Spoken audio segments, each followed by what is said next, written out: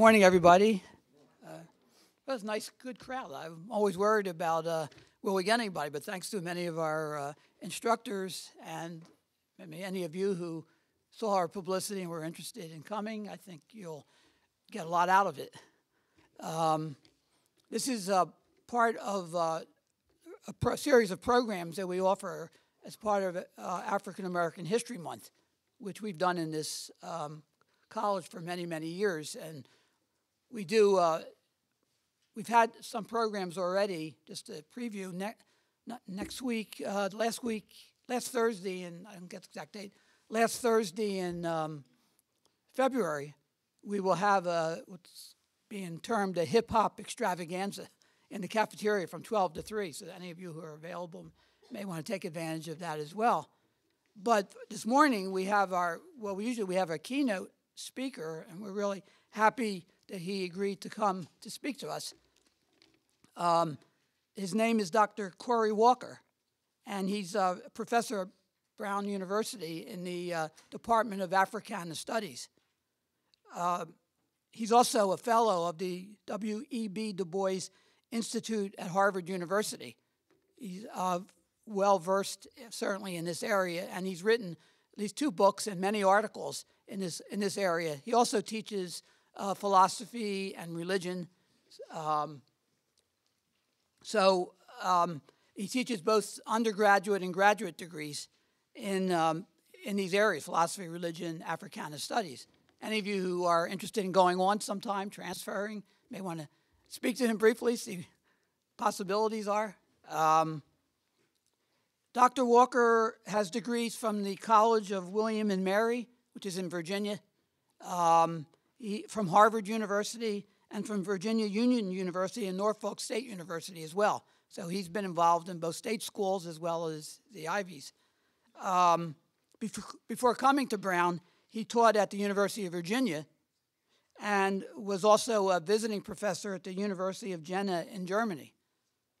Um, his topic today is W.E.B. Du Bois and the future of democracy. Uh, in America and probably in the world. Uh, this is a subject which, uh, those of you following the news, has even greater meaning given the events that we've been seeing in Egypt and um, around the Middle East, still going on today. Um, so I know Dr. Walker has a sort of prepared speech, but he wants to open it up and have a discussion. So as he talks and thinks about these things, think about questions that you may want to ask and a dialogue that we can have. Uh, so we're really pleased to have Dr. Walker here. Thank you.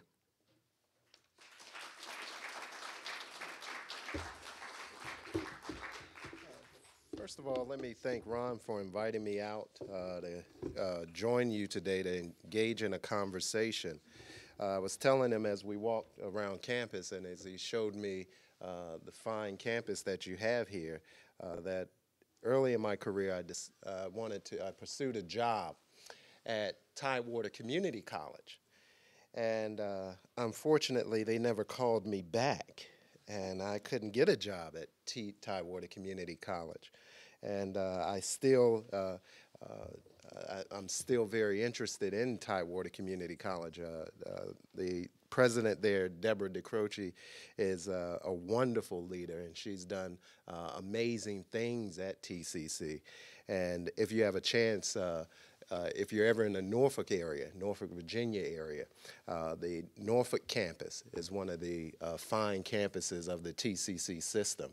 Uh, it's built right in downtown Norfolk in a number of uh, renovated buildings. and they've now they've built their first student center.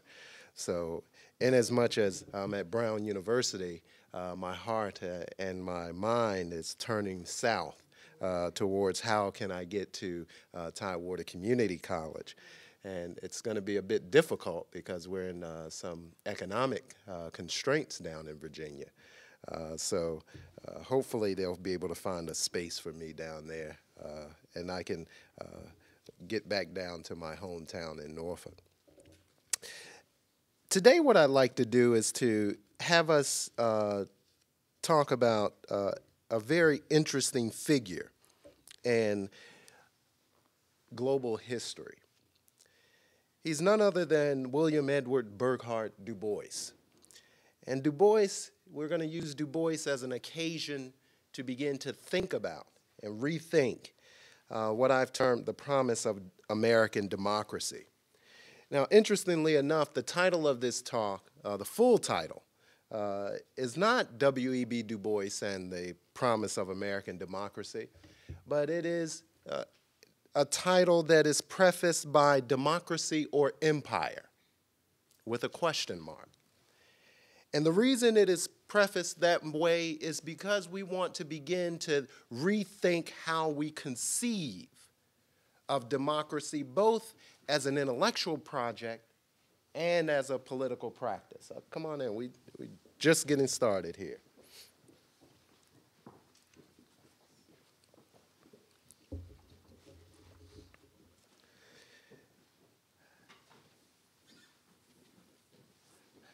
It's amazing how everyone always goes to the back and never to the front. I know we have some sociologically oriented students who would do a wonderful study to figure that out. It happens everywhere. And you're like, what's wrong with the front right here? He's scared. I see you're right here with me. He's like, I'm getting a front row seat.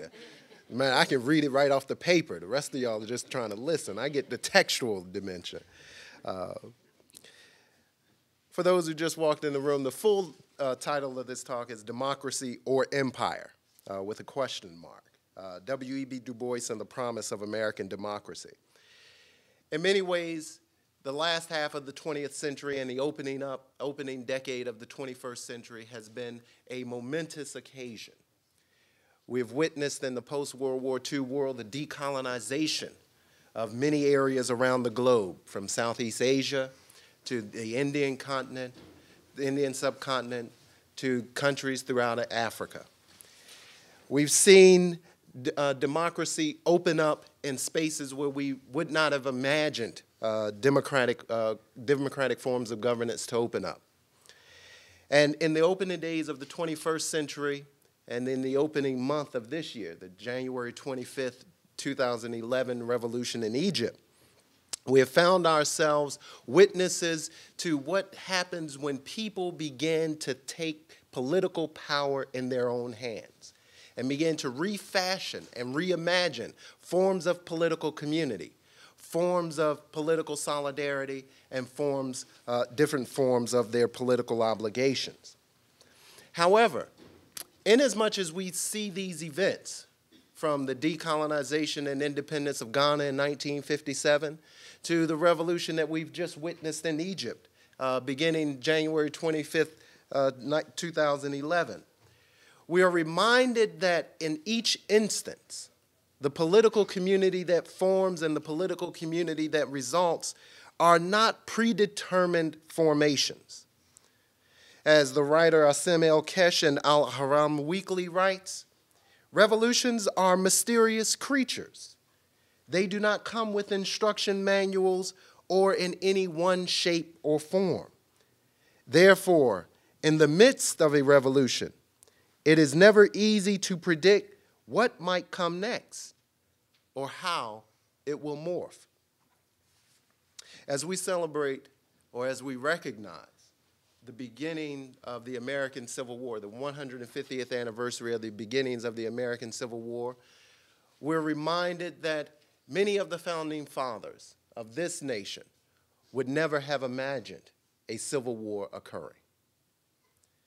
Many of our founding fathers would not have imagined the death, the toll upon the American nation, nor would they have imagined how America would be reconstructed.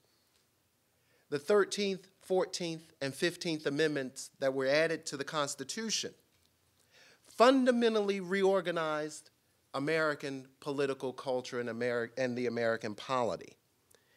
In many ways, what happened at the beginning uh, in, in South Carolina and that culminated in Appomattox, Virginia, fun, was not an event that could have been calculated when our founding fathers sat down to write the Declaration of Independence.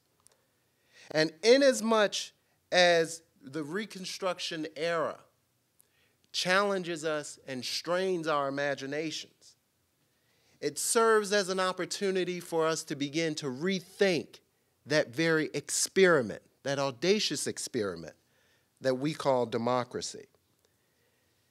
One of the interesting individuals who used this period in American history not so much to begin to think about America in an exceptionalist manner, but to begin to fundamentally recast what democracy meant, was none other than William Edward Burghardt Du Bois. Born in Great Barrington, Massachusetts, Du Bois was educated at Fisk University in Tennessee. He went on to uh, attain his master's and doctorate from Harvard University in 1895. He studied at the University of Berlin from 1892 to 1894 and completed all of the requirements for the doctorate. Remember, the latter part of the 19th century, Harvard was not the best university in the world. As a matter of fact, there's this interesting story that Du Bois uh, tells about his time at Harvard and uh, his uh, receiving his doctorate from uh, Harvard University. Because Du Bois had completed all of his doctoral work and, and completed a dissertation uh, at the University of Berlin, which at the end of the 19th century, Germany was the premier country and destination for higher education throughout the entire world. And to receive a doctorate from the University of Berlin placed you in the upper echelons of education globally. Du Bois, unfortunately, needed to, uh, the faculty uh, at the University of Berlin voted that Du Bois needed to stay an additional semester. He would have completed his doctorate in four semesters at the University of Berlin. But Du Bois needed more money. In order to stay that extra semester, he wrote to his uh, fellowship, uh, the Slater Fund, who offered him fellowship uh, monies to study in, in, Berlin, and said, I need one more semester of fellowship fund so I can complete my doctorate uh, here at the University of Berlin. How many of us ever been in a situation where we just need a little bit more money to complete that degree? I mean, so you're not, you're not alone in this. I remember I con- constantly begged uh, my scholarship funders, you know, I need more money to get my undergraduate degree. But Du Bois got his degree. Uh, du Bois uh, asked for money, and they said, well, you really don't need a PhD from the University of Berlin. You're a Negro. Why don't you just come back to the U.S. and get your degree from Harvard? So Du Bois always says he settled for a degree from Harvard University. And when I'm up at the Du Bois Institute, I always remind uh, uh, uh, Skip Gates that Du Bois always settled for his degree from Harvard. But Du Bois, uh, du Bois was not only uh, well educated. Uh, his first his first book, The Suppression of the African Slave Trade, which was published in 1896, served as the first book in the Harvard Historical Studies series. He wrote the first work of empirical sociology uh, in, in U.S. history in 1899. The book is entitled The Philadelphia Negro. In 1903, his classic text that most everyone reads, a collection of 13 essays, uh, is uh, collected under the title The Souls of Black Folk.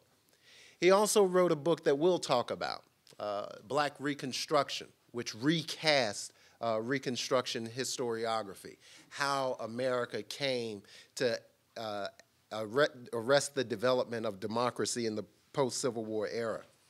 He also wrote another book 10 years after Black Reconstruction that we'll talk about as well Color and Democracy.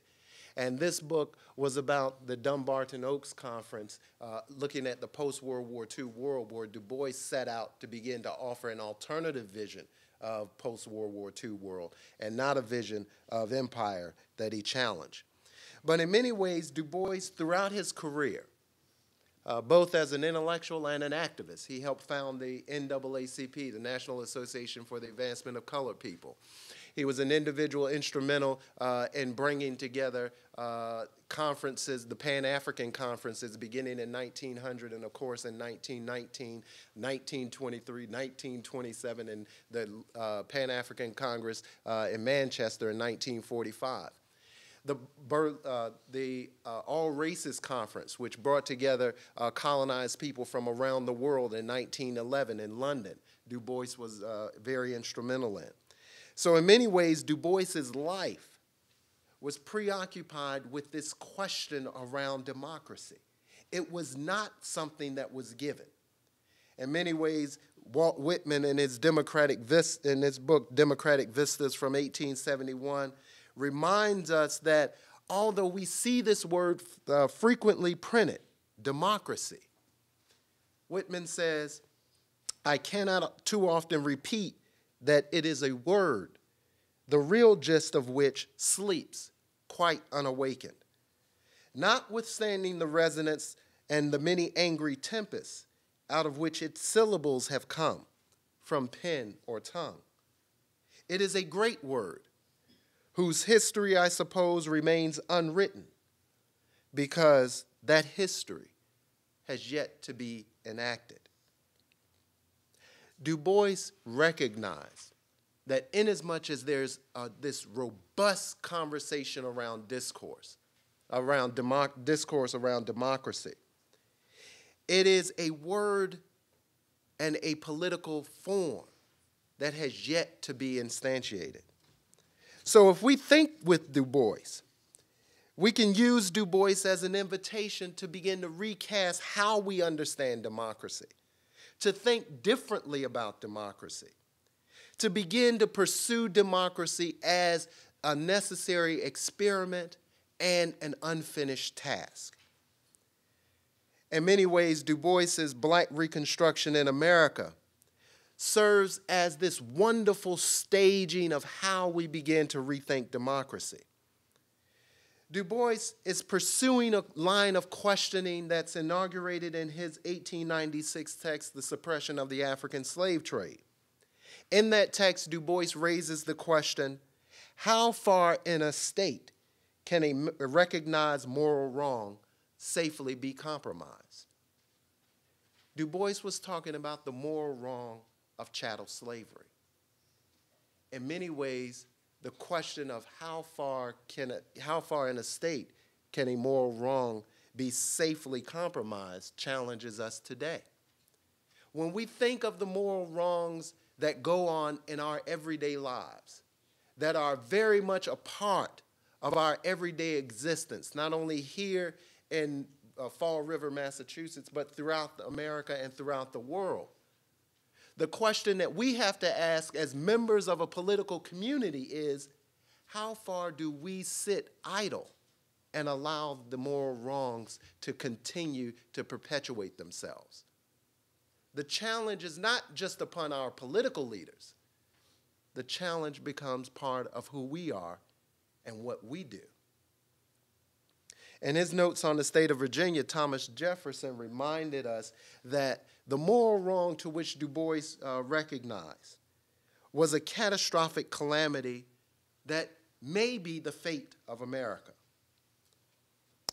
Jefferson writes deep rooted prejudices entertained, entertained by whites, 10,000 recollections by blacks of the injuries they have sustained, will divide us into parties and produce convulsions which will probably never end, but in the extermination of one or the other race. Jefferson highlights the fact, the contentious issues around anti black racism that has infected the American experiment with democracy. In many ways, Jefferson doesn't read it as something exceptional. He doesn't read it as something that's an additive. He reads it as something that is very constitutive of our political experiment. Du Bois uses this as a moment to begin to re, fundamentally reimagine what democracy is. Black Reconstruction in America tells the story of a democracy that's in its fledgling form. A democracy built on an egalitarianism, built on an, a radical equality, built on not only a political equality, but also an economic equality. And all of a sudden, that experiment in democracy is interrupted by the collapse of Reconstruction in 1876 by the end of Reconstruction in 1876. What Du Bois is writing about is how we can think through an intellectual practice and a political practice that can open up possibilities for something new. There are no guarantees. Du Bois does not write in the sense that here are the guarantees of which democracy will give us. And in many ways, we're seeing that right now. And this is what uh, Asim El Kersh writes about uh, in uh, uh, Al-Ahram Weekly that there are no guarantees about democracy. Du Bois wants us to begin to look at how a moment in American history opened up possibilities and how that moment uh, closes uh, uh very quickly. In many ways, uh, Martin Luther King gives voice to this moment with extreme clarity. The promise, the possibilities, and also the perils. In his book, Where Do We Go From Here Chaos or Community? King reflects on this post emancipation period with extreme clarity. He writes With all the beautiful promise that Frederick Douglass saw in the Emancipation Proclamation, he soon found that it left the Negro with only abstract freedom. Four million newly liberated slaves found themselves with no bread to eat, no land to cultivate, no shelter to cover their heads. It was like freeing a man who had been unjustly imprisoned for years, and on discovering his innocence, sending him out with no bus fare to get home, no suit to cover his body, no financial compensation to atone for his long years of incarceration, and to help him get a sound footing in society, sending him out with only the assertion, now you are free. What greater injustice could society perpetuate? All the moral voices of the universe, all the codes of jurisprudence would rise up with condemnation of such an act.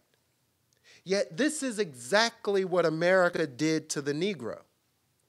In 1863, the Negro was given abstract freedom expressed in luminous rhetoric. But in an agrarian economy, he was given no land to make liberation concrete.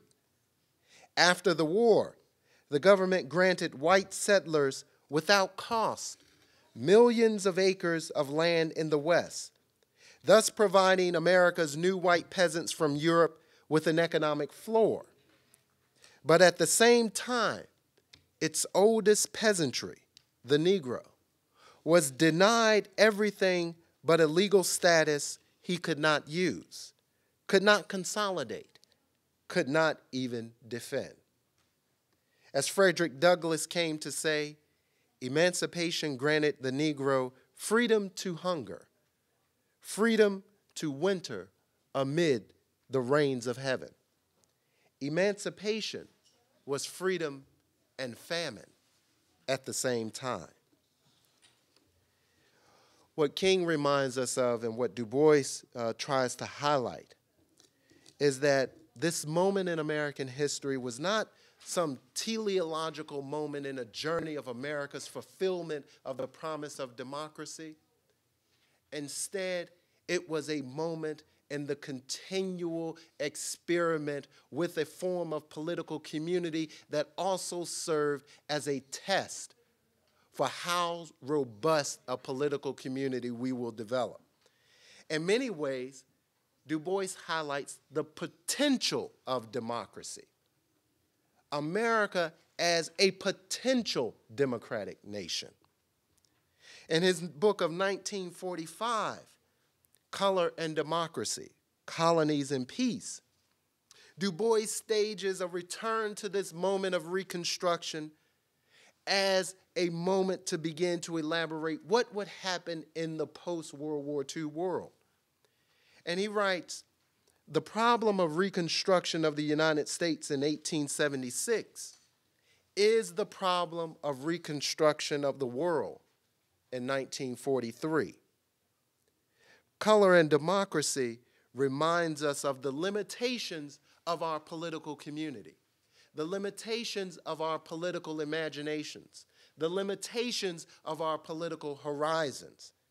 And it opens us up to new possibilities of how we should develop our political community. How we should stage not only what we do in the United States and how we organize ourselves in the US, but how we organize ourselves around the globe.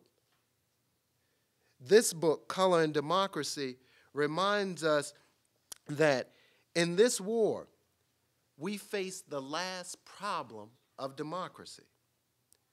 Du Bois, of course, ends this book or opens ends the middle uh, chapter four of this book with this stirring question: How far are we working for a world where the peoples who are ruled are going to have effective voice in their governments?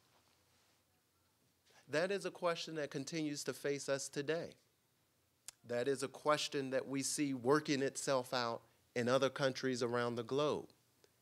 And that is a question to which we are constantly confronting here in our United States of America.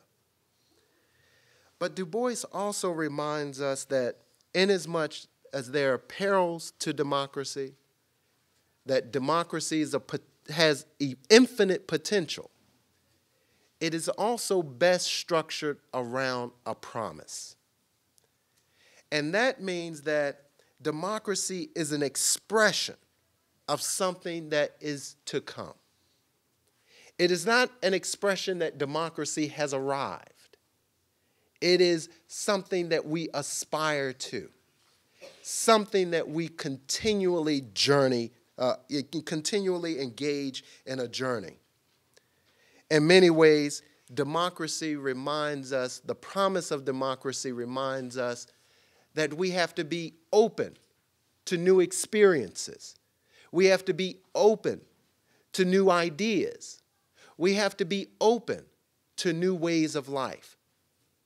Democracy is not something that is closed off, sealed up, finished, and contained for us to just posit for one generation to the next in many ways, as a promise, democracy is renewed with each generation, receiving the gift of that promise and then pursuing that promise in ways in which a previous generation could never have imagined. Democracy reminds us that we are heirs to an entire world of ideas. We are heirs to a political practice that is far from finished. We are heirs to ways of thinking and ways of being in the world that we respond to in an unpredictable and unknown manner. In many ways, in order to inhabit this space of democracy, we have to be humble we have to be hospitable and we have to continue to engage uh, in a hope filled experiment that we're all uh, heirs to. Thus, we end with a question. Du Bois raises the issue about uh, democracy in, the, in America in light, of the, in light of the Reconstruction moment. He challenges us to press on with democracy in the post World War II moment. And our moment, when we see new political formations emerging, the question for us is whether our democracy? Do we continue along the path that we have set or that has been set for us, or do we continue to develop this promise of democracy that is yet to come? By posing the question, we are reminded that democracy is a journey and not a final destination. We have not ended this experiment. There are many issues that confront us as a nation and that confront us as a global community. The question that you face, that Du Bois enables us to think through is what or how will you be, how will you imagine democracy in your time and in the time to come? Thank you.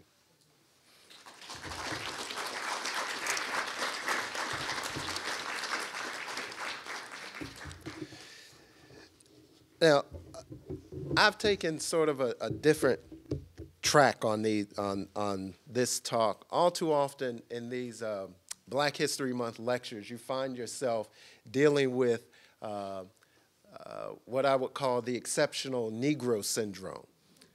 You find, let's go find someone to tell us how exceptional African Americans are and what pathologies plague black communities that we need to face.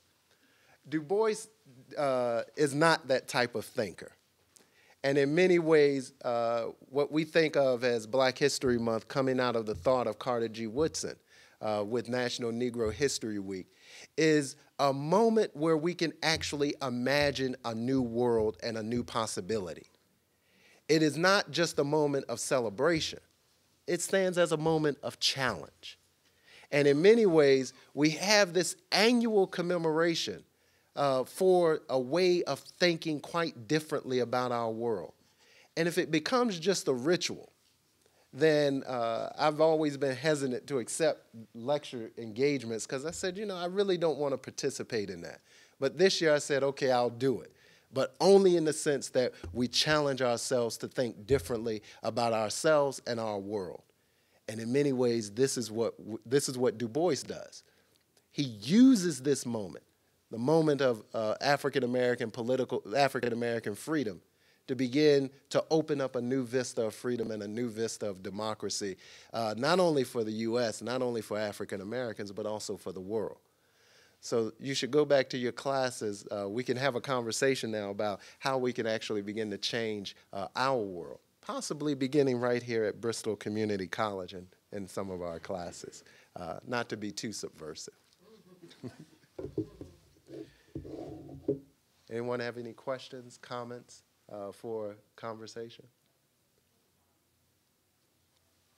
Well, I, I have an observation that I was, I'm surprised Mhm. that Du Bois was optimistic about democracy, considering what he must have witnessed. I think by 1900, there were no blacks in the state legislature and no blacks in the U.S. Senate or House of Representatives. Mhm. And he's looking at democracy as a journey. So, to me, if you compare it to early Reconstruction, it looks like blacks in America are not taking that journey. And the Supreme Court had given up defending the Fourteenth and Fifteenth Amendment. They gave it to the states. Well, I guess the point I'm trying to make is, it looked like it was going backwards, but yet he maintained this optimism. Uh, uh, two things first. Democracy was never just something in America.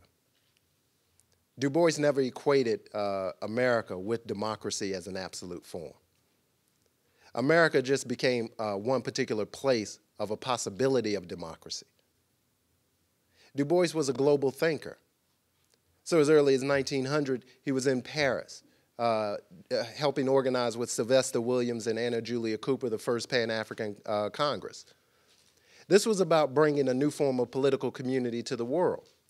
Of course, he understood what happened in the U.S. Democracy had been aborted. I mean, uh, the slaughterhouse cases in the early 1870s gutted the Reconstruction Amendments. What we see in 1881, what we see in 1890 in Mississippi, what we see in 1896 in Plessy v. Ferguson, what we see by 1905 where there's uh, disfranchisement across the entire South. If Du Bois had taken that as the example, as the pinnacle of democracy, if he had taken the U.S. as the only instance of democracy in the world, there would be no need to even think of it. But Du Bois presses the case that, look, what happens in Reconstruction, what happened when African Americans uh, under Francis L. Cardozo in South Carolina made uh, public education available for everyone. I mean, this is, interestingly enough, we have these debates around public education today. And uh, we have all of these proposals. I serve as the president of my daughter's PTO at uh, Martin Luther King Elementary School in, in Providence. And I'm always amazed at how we develop uh, these new ideas uh, about education, but yet we don't want to look at education itself, the content. So we want to teach students these, uh, you know, facts and figures, but we don't want to teach them how to think. And in many ways, to teach a person how to think is a revolutionary act. What Du Bois does is causes us to think that democracy is not just, democracy is not synonymous with America. Hence, the title of his book is Black Reconstruction in America, an essay towards which blacks uh, work to make democracy uh, in America. It is not a done deal. It was an exper- it is an experiment, it is a journey. And Du Bois held out the possibility, the promise, because Du Bois believed in one thing that democracy is not uh, codified and consolidated within just the formal institutions of politics proper. Democracy is a deep belief, a deep and abiding belief in the power of people. In his book, Black Reconstruction, it is about people. He opens up, the first chapter is entitled The Black Worker. This is a belief in the profound ability of everyday people to forge new forms of solidarity and new forms of community when people desire. So, in a sense, Du Bois becomes a radical Democrat, unlike anything that we can account for. In many ways, the categories of thought that we have around politics make, uh, frame, frame a political community that creates this hierarchy where those who hold office are the individuals that we need to know, and the people just become a referent that we don't even need to know. And I'm always um, reminded that the Constitution, the preamble to the Constitution, begins with those words We the people. If we think of democracy as we the people, what's happening in Tunisia, what's happening in Egypt, becomes not just something over there and we say, oh, they're moving towards democracy. No, it actually they serve as uh, teachers for us and remind us that it, we as the people constitute this political community. As we see budget cuts coming down uh, from state legislatures to uh, our federal uh, government, we the people organize this nation. If we don't like it, we, the people, need to do something about it. Du Bois calls us back to democracy as promise that is open, that is a journey, and that is never finished, and that no one can usurp the power of people coming together. That's what Black Reconstruction is about. And that's what uh, Color and Democracy, his book on colonies and peace and the post-war, uh, post-World War II period is about. Du Bois had a profound belief in the power of individuals coming together and changing their communities at any instance. And in many ways, if we begin to recast the Civil War and Reconstruction, not in this sort of hagiographic manner that it's been, being uh, recast in, say, the New York Times, where you have all of these uh, historians writing about what the Civil War meant, making history boring. I mean, eyes glazed over. And some of the writings are just bad. I mean, I, I saw one uh, essay in there by Steven Hahn. I said, well, you know, we could have just put an excerpt from Du Bois's Black Reconstruction in there. We didn't need him to write this. Uh, if we think about it as how people are trying to organize a new form of community, if we imagine ourselves, uh, if we can actually imagine a new world and thinking of how black people begin to fundamentally reconstruct democracy, not just for black people, not in a vengeful manner, but in a hopeful manner for all people. Imagine what that lesson will be for everyone uh, in our nation and in our world today. America doesn't hold a copyright on democracy. Let me, I'll, I'll say that again. America don't hold a copyright. America is not the pinnacle of, of democracy in the world. People hold new possibilities of democracy within themselves. And the challenge is for us to become true radical Democrats. That's what Du Bois challenge. That's the promise of democracy. Not that America is some exceptional uh, uh, formation but that each person is an exceptional individual that can possibly open up a new, uh, new possibilities for us. Um, this is a little bit, I think it's related. Um, I just wonder if you could comment on what you think. I don't remember, um, ever having a time of such, incivility within the political sphere. The way politicians talk to each other and the things that they say about each other. And I'm thinking in one particular case when, um, President Obama was giving a speech to the um, House. Oh, the State of the Union, and Well, and somebody, somebody screamed out. you lie. You lie. Oh, that was civil compared to instances in American history. I mean, people, you know, they used to have, they used to have all-out fights uh, in the floor of the Congress. Uh, we have duels, yeah. because in my lifetime, Yeah. I hadn't seen people screaming out Mm-hmm. things like that in a setting where you were supposed to be listening to the President of the United States and showing him respect. So to me, that was, what- I was floored by that. I couldn't believe that somebody had the audacity to yell out Mm-hmm. in a, in a very, you know, respectful situation, you lie. So it just seems to me that there's, there's just this lack of civility in the country for people towards each other and the way we talk to each other and, and with the politicians. And, you know, maybe are the politicians and the media setting an example for the rest of us? Do you, do you think it's just completely degenerated, um, at this time in history more so than any other, or not in the whole scheme of things? I mean, if you, I mean, always in the long view, things become this sort of relative moment. I mean, at the same time they're fighting uh, on the floor of the Congress in the 19th century, uh, you have slaveholders who are representing people. So it's like, okay, you know, really, can we use that as an adequate example? I mean, this is what we would expect. But in our recent moment, we have to begin to look at the role of uh, the role of media uh, in our not only our political culture but in our popular culture uh, broadly. In many ways, what media does is it it it reduces us to the least common denominator. Thus, we get stereotypes and we get caricatures instead of people.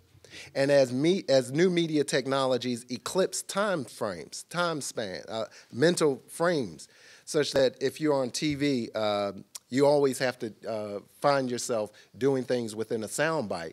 It does not facilitate deep thinking.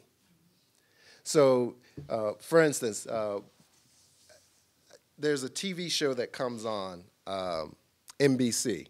Uh, so, who do you think you are? It's a genealogy show, right? Uh, about celebrities. Well, uh, I did I, I did the show with Lionel Richie that'll come on, um I guess, in a couple of weeks. And the one thing that I constantly had to uh, uh, make a point about was that you can't, although you have these time constraints, there's certain things that you can't say. There's certain things that give, that miseducate individuals. There's certain ideas that can't be uh, expressed in a nice, easy quip, uh, a nice, easy quip or a nice, easy phrase. In some ways, we have to do long thinking. Um, and our political culture, our media, our political culture is mediated through our mass media. Is predicated on how do you get the greatest bang for the buck. So you don't have deep thinking going on. Uh, and it's not reinforced. I mean, in a sense, uh, as I told Ron, we were talking about, Ron asked me, do I have uh, any um, presentation, you know, any you know, I could have came up here with some slides and some PowerPoint. I said, really, I don't. I mean, uh, I just got some papers and some ideas. Uh, it's not that they don't help, but they don't. They can't stand in place for thinking. And all too often, we've allowed uh, our media culture to stand in the place of our thinking, and it has it, it has debilitated us to the degree that we uh, desire those quick responses. American political culture, I mean, democracy is, you know, a blood sport. I mean, it is about, it is contentious. Uh, throughout the history of ideas, uh, if you look at how democracy is organized, democracy as a pluralistic uh, experiment of different factions, different ideas, is a very contentious issue.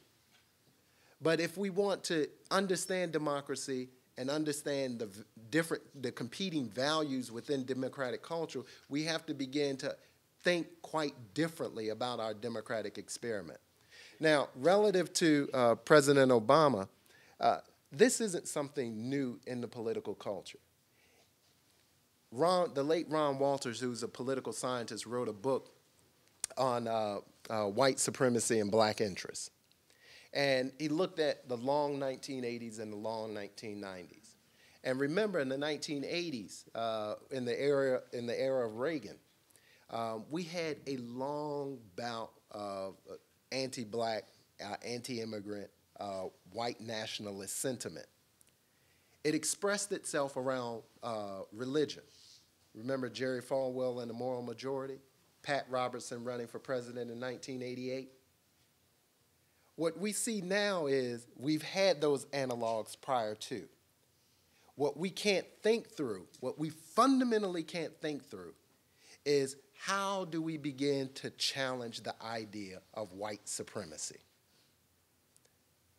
This isn't a question about uh, uh, race in the abstract. This is a question about how do we fundamentally reorganize politics and power to eradicate white supremacy. Now, saying that won't get you, you know, too many speaking, speaking, speak, speaking engagements because everyone likes to talk about race, right?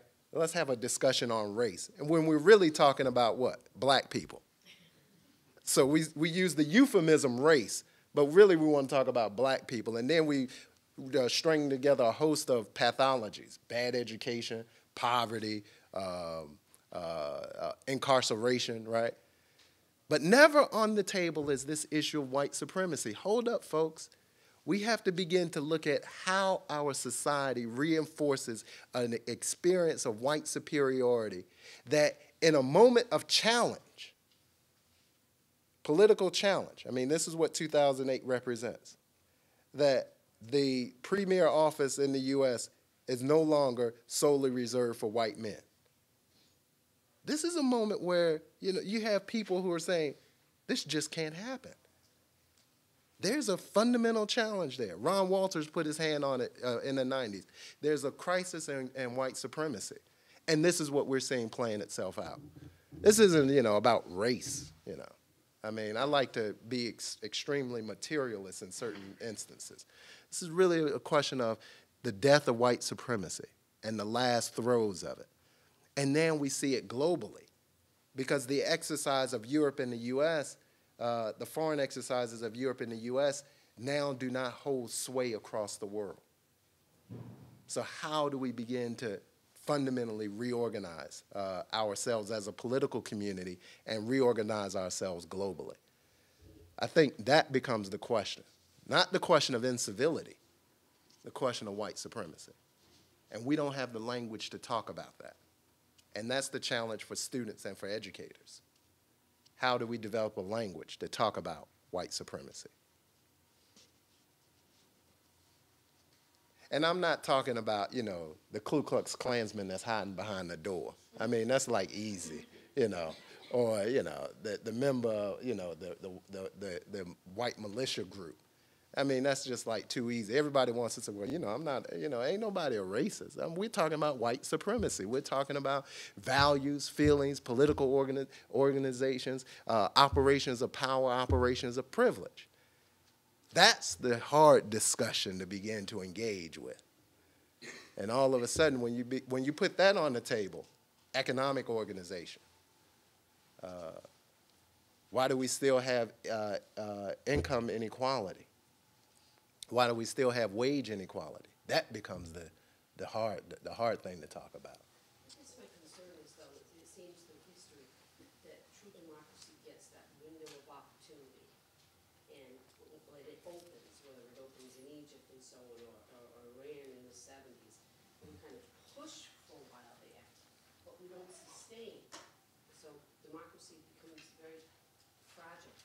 I guess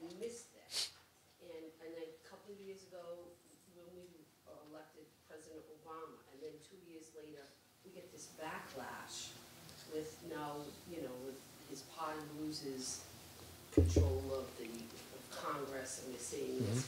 And where's the sustainability? Coupled also with the idea that we only get sound bites now. Yeah. Have truly, and we're not thinking any deeper than huddle. Oh, Just yeah. what do we got? And instant conversations. There's not, there's not the depth that we need. There's not the sustainability that we need Mm-hmm. to get that last push. This because I mean, I, I mentioned King in this talk. Um, you, you remember as early as 1962, 63, uh, you were getting articles in the New York Times about the white backlash against the civil rights movement. This is before the 1963 March on Washington. This is before the 64 65 Voting Rights Act. Even within the movement, after, after those uh, uh, Voting Rights and Civil Rights Acts of 64 65, when they were passed, there was a debate. Bayard Rustin held the view that uh, protest was over, now it's time for politics. King said, let's continue to press on. Remember, King, as early as 1957, said this black freedom movement, this civil rights movement, is part of a global movement of 800 million people fighting for freedom. Now, in order to continue that, you know, he morphed and developed the Poor People's Campaign. Now, remember, you know, 64, from 64 to 68, really uh, 66 to 68, King was just, no one liked him his ideas were like, okay, we're finished with this. But what happens is we have to, I mean, the, the, the, the, the question that King faced and the question that Du Bois faced with black reconstruction. How do you press on in the midst of the counter revolution? Remember, democracy is never going to come about, everyone's never going to be on board. And every revolution, uh, as, as, famous, uh, uh, I think it's uh, Lenin who said this, every revolution mobilizes the counter revolutionaries. So you're always going to be, it's always going to be a struggle. You know, uh, one thing Fannie Lou Hamer said, it, it, it's a beautiful saying, freedom is, a, is, a endless, uh, in, freedom is an endless meeting. We have to develop those internal reservoirs, those deep wells of democracy within ourselves to continue to battle when no one's around. If you're in a group, you know, say a community group, and you can only get three people out, right? It's like, okay, well, we really got to fight this, but you only, you're not going to get a mass group of folks. Every day is not going to be March on Washington. It's going to be those small groups that continue to persevere. What happened in Egypt is a prime example. What we saw from, uh, as, as a result of the January 25th revolution recently, that did, did not start January 25th. It started years and decades before. It ramped up in the past three years. These were community organizations. The leaders of, of that, of what went on in, in Egypt, were community organizations. The U.S. media, you won't get this. One way, you mean, look at Al-Ahram, uh, uh, Al Arabiya, or even Al Jazeera English. You'll get better coverage of actually what's going on on the ground. But individuals lost their lives. Not only uh, uh, what happened when uh, uh, in um, in Tahrir Square, not only there but also uh, prior to. So we have to begin to think that democracy, when we have those windows, those spaces, those openings, that even in Iran, we had three years of an opening. By 82, it had closed. And what we do is learn from those. Hence, we look at Du Bois, we'll look at the Iranian case, see what we can learn, pass that on to future generations, and allow them to continue to struggle. And that's very hard because there are no guarantees. The thing about democracy is it does not facilitate guarantees. It's not structured on a guarantee. Hell, I mean, uh, uh, the founding fathers did not think uh, or did not imagine that this would be a political community in the same way, same shape across space and times. Hence, this is why uh, Thomas Jefferson always advocated a little revolution is good. Because you know what? We didn't think all the good ideas at this one moment.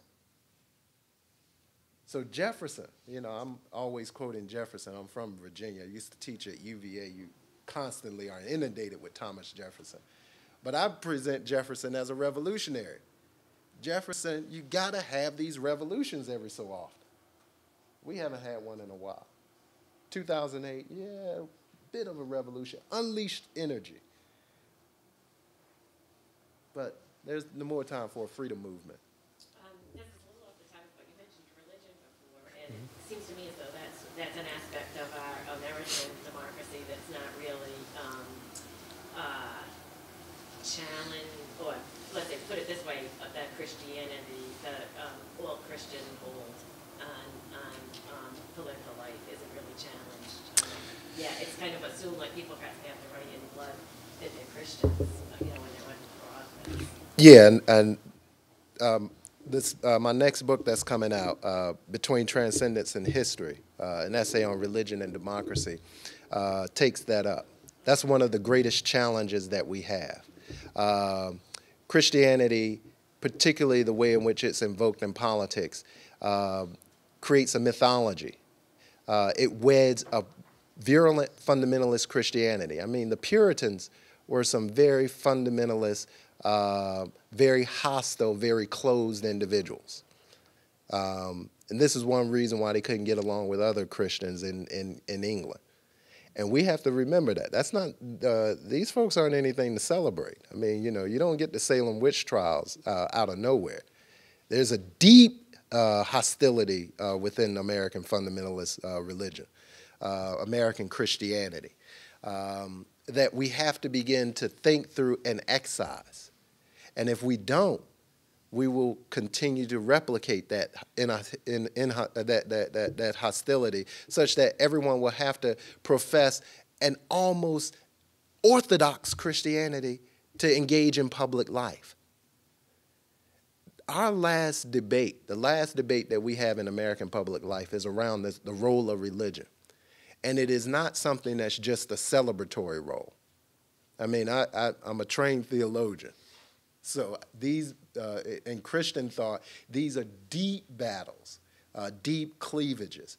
And when we talk about uh, uh, having religious pluralism, it means that, okay, I'll respect your religion as long as it's just like mine. So that's the debate about uh, uh, Christianity and Islam right now in the U.S. As long as, as your Islam coordinates with the way I think about my Christianity, it's fine. If it's something different, you got to get out of here. We can't have that.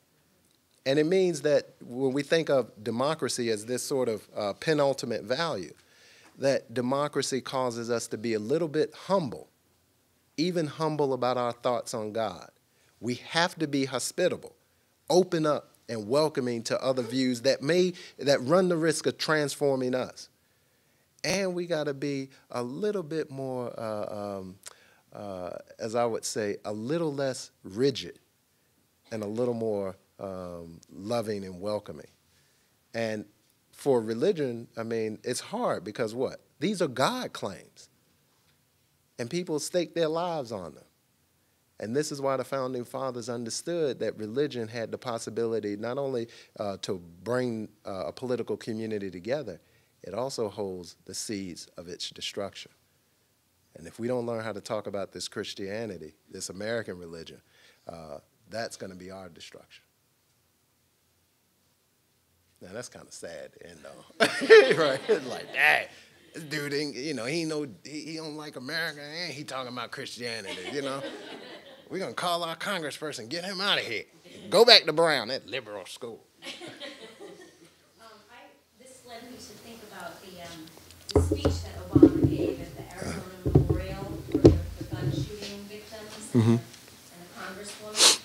And, um, I remember watching, um, I mean, I, I, I really don't like Fox News, I have a lot of issues with it, but I remember, I do watch it occasionally, so I get the other perspective. And I remember Brit Hume, who is a very, um, very Christian, conservative, um, commentator, had said that, um, he thought that the fact that it opened up with a Native American ceremony, um, he found that bizarre and weird. And I thought to myself, this is a man who is uh, an, a reporter, and he is representing himself Um, and he's calling a Native American culture, which is something beautiful, and we should be to- tolerant of this. He's calling it bizarre and weird, and I think that's very dangerous language. And um, that's that's what we have to contend with. We have these reactionary, kind of fundamentalist people who believe it has to be the Christian way is the only way, and everything else is is, is deviant. And I just I, I just wonder, you know, what what do you think about comments that are made like that, and how they're not repudiated like immediately, especially if they're coming from Fox Fox News. Uh, you know, I, I, um, I tend to I tend to uh, approach it like this. I mean, I tend to think that in, in certain uh, political discourses, uh, we all construct these uh, straw people. So uh, those on the political spectrum always, you know, create a boogeyman out of news media, and I'm like, you know, all of it is just bad. I mean, you know, you got Fox, you got MSNBC, and I'm just like, both of them is just, you know, for students, they're just bad examples of bad thinking, simplistic forms of thinking. None of them can ra- grapple with the depth of the issues that we have there. So I, I, I don't even engage them because, you know, you, you know, uh, I guess it was uh, Keith Olbermann, right, who just lost his job. I was like, you know, who cares? I mean, this dude, he, it was, it was bad thinking. I mean, I don't expect Brit Hume to come out with a profound analysis of what's going on in a, in a, in a ritual ceremony around uh, death. I just don't. I don't look for that. Uh, I don't expect them to. I mean, I would expect if one of my students were to say something like that, who'd been in my class, then I would I'd call that student up and like, look, hold up, you know, you got to have a better analysis than that, right? I mean, that's what education. That's why y'all are here. Otherwise, it's just like, you know, no. And the, the challenge that we have is to, we, I mean, there's a golden opportunity. Look, we got closed doors right here. We got everyone in here. If everyone in here continues to develop critical thinking skills, all of us, imagine what force we'd be coming right here out of Bristol Community College. It would be amazing. They couldn't account for it. In many ways, they can't account for the possibility or the probability that people will begin to think and to organize and to then construct an alternative world, irregardless of the nonsense that's going on.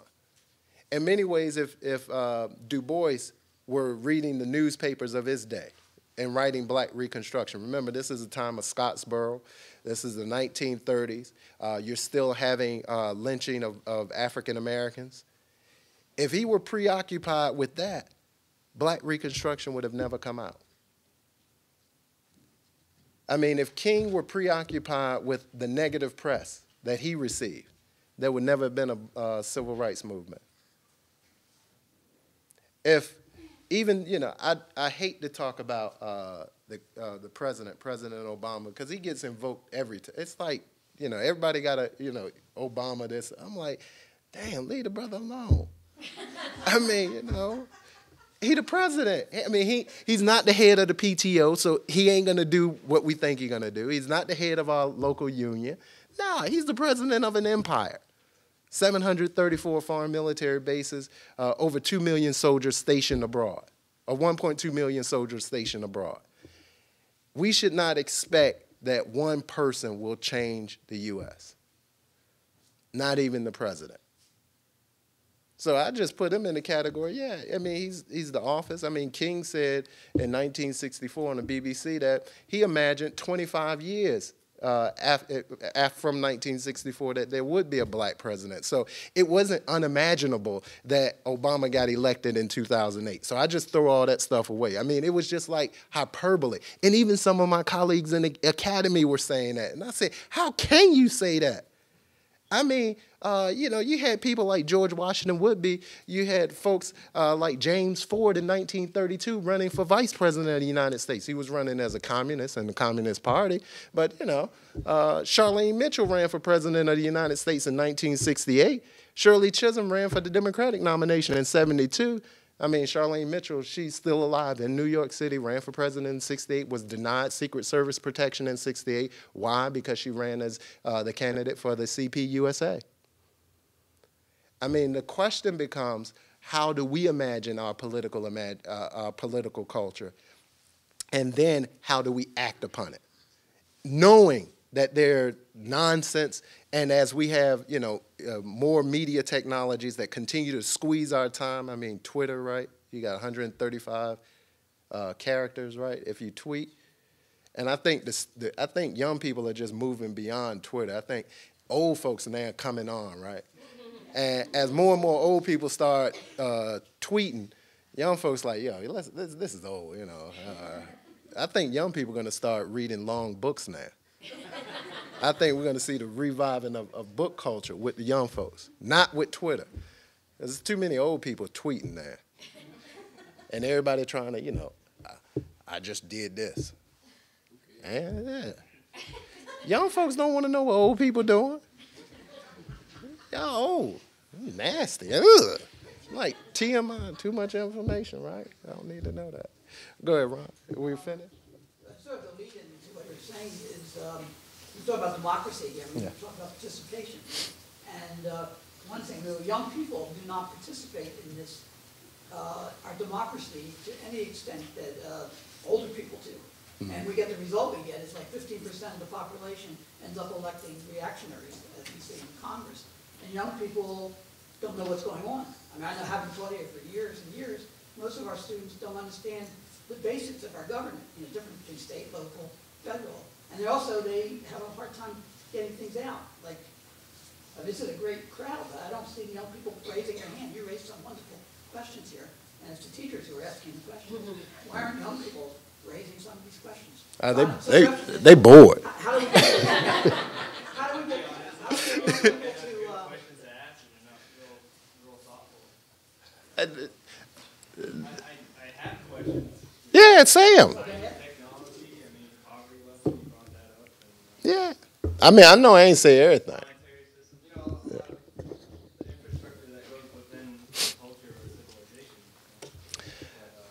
Yeah. I mean, that's the, that, that's the, the. I mean, that's that's a huge. Uh, last year, uh, Ron came down to Brown, and we had uh, the 50th anniversary of the Student Nonviolent Coordinating Committee uh, reunion, 50th anniversary, and these were students, much like yourself. Uh, Charlie Cobb, uh, who organized it with me. Uh, Charlie Cobb, who's one of the founders uh, uh, of SNCC, uh, um, went down to Mississippi. He was sitting at Howard University in Washington, D.C., reading a student newspaper, learning about the, non, um, Nonviolent Action Group, NAG, as they, their acronym NAG. And this is the group that Stokely Carmichael came out of. Charlie was sitting there and then said, okay, well, I'm going to go down and get some training in Texas. And next thing you know, he's on a bus down. He stops in uh, Mississippi and there he, he, he meets um, uh, Hollis Watkins. And Hollis says, you know, why are you going to Texas? Here's the movement right here. Next thing you know, he spends the next uh, six or seven years in Mississippi. Didn't know where to start, didn't know how to begin. Uh, there was no blueprint. I mean, this is the one thing you got. There is no blueprint for democracy. You know, I think ain't there. Uh, I, I hate making these references to rap music because it's so cliche. Then somebody just do an album called The Blueprint One or t- yeah. I mean, that dude older than me, and I'm just like, you know, how is he writing the, the sound the, the soundtrack to young people's lives and i'm like this is like true media uh, media manipulation this dude is older than me can y'all imagine me writing the soundtrack to your life you know i got some skills but come on I mean, be critical about this stuff uh, you know he should have came out with a you know a different generation you know when he had more you know, competition for people his own age i mean i wouldn't go into class and say oh yeah i'm smarter than my students you know, he's the best rapper. And you, Lil Wayne, I mean, that's like, it's like your brother. I mean, your little baby brother or something like that. I don't know. But there's no, you know, there is no blueprint. There are no, there are no uh, plans written uh, prior to. You just begin. I mean, the beautiful thing, I mean, when I talk about democracy as a promise uh, in Du Bois, it's uh, owed to uh, my reading of um, this idea of the promise uh, in this, the late French philosopher Jacques Derrida. And what Derrida reminds us of is that when we posit that there's a beginning, it's not the absolute beginning. It's the moment where we start. That's it. There is no original moment that we can actually point to and say, it starts right here, absolutely. No one can say where an idea of freedom began. We know where expressions of freedom uh, become practices of freedom. You know, in the uh, Christian religion, there's always this the beginning of the, uh, of the Christian text and of the Jewish text as well begins with in the beginning. It doesn't say what the beginning is, it just says in the beginning. And in many ways, for young people, you can't be stifled by not knowing where to begin. You just begin. You know something's wrong. Yeah, you, you know something's wrong. It may be beginning right in the class. I mean, you know, you read text and be like, well, something's wrong here. I gotta, I gotta figure this out. I gotta do something.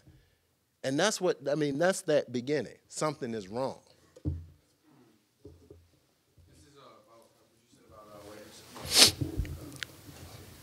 White supremacy? Yeah. Um, so you said it's not about race.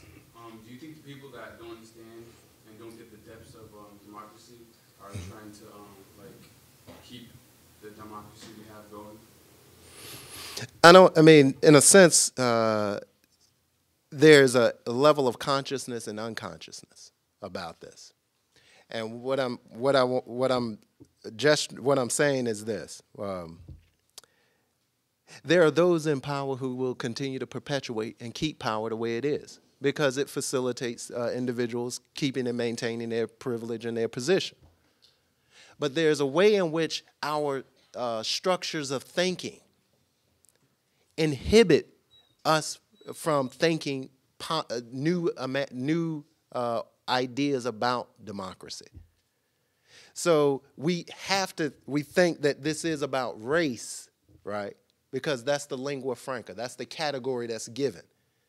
But when we begin to think quite differently, and this is what Du Bois becomes uh, an architect of, how do we think differently about what we've received, about our received traditions?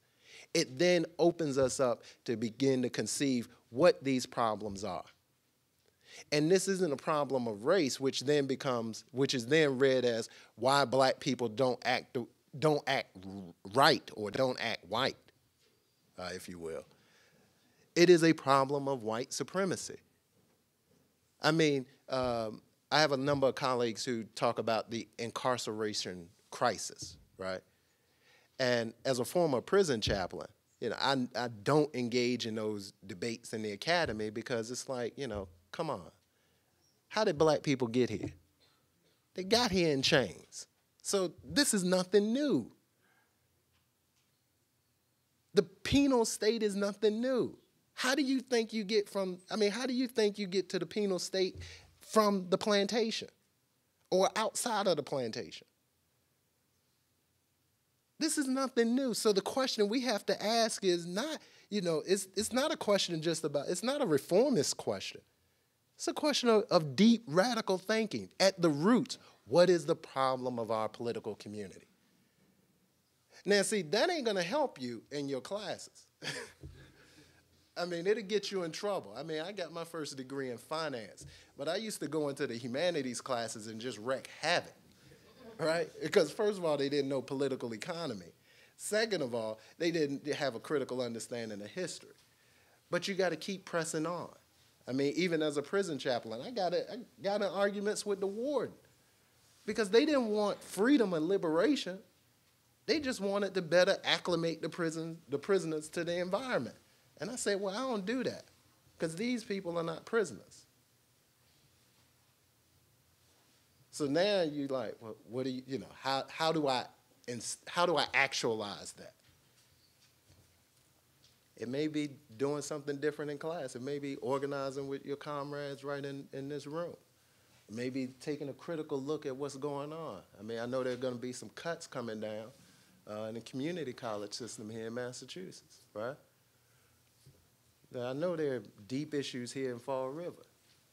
You know, uh, I know there are deep issues around uh, plural. How do we have a, a plural uh, a plural democracy here in Fall River? It's gonna begin with young people. Don't look at old people. Don't look at your professors. Don't look at us. I mean, we're gonna we'll sell you out in a second. I mean, you know, we gotta we, we worried about our paycheck, you know, house note, you know, social security, you know.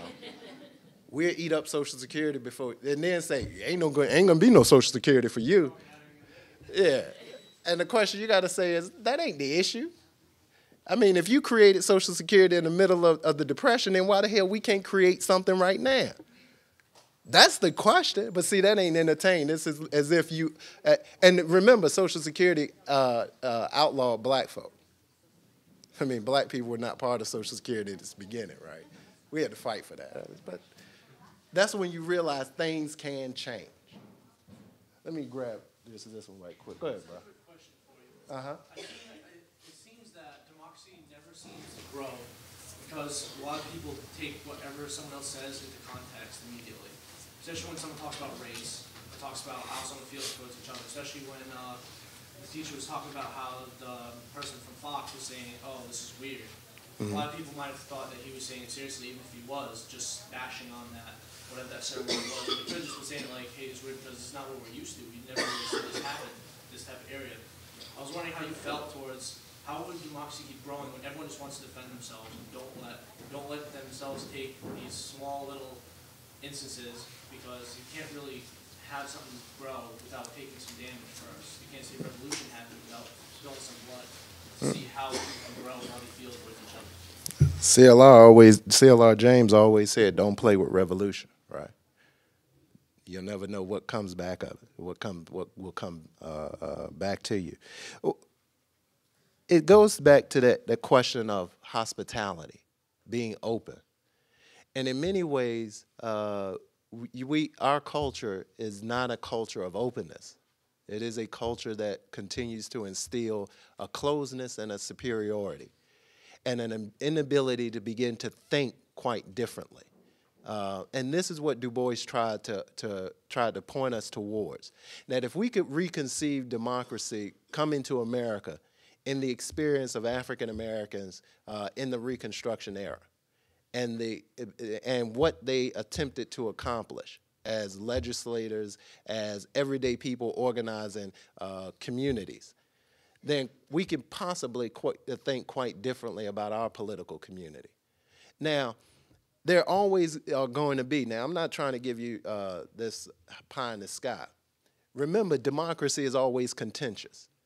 And it, the reason why it's contentious is because people hold different values and people prioritize those values quite differently. So everybody is not going to have the same uh, uh, values, priorities as everyone else.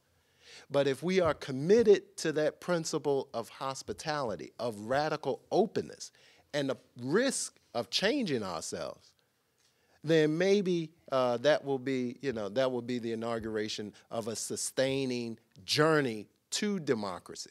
Remember, we're not at there yet, and never, and we should never think we are there. But we should see ourselves as uh, as a, as members uh, uh, proceeding on a journey towards a destination that we can faintly see. You know, it's on the horizon, but it continues to uh, go beyond go beyond us.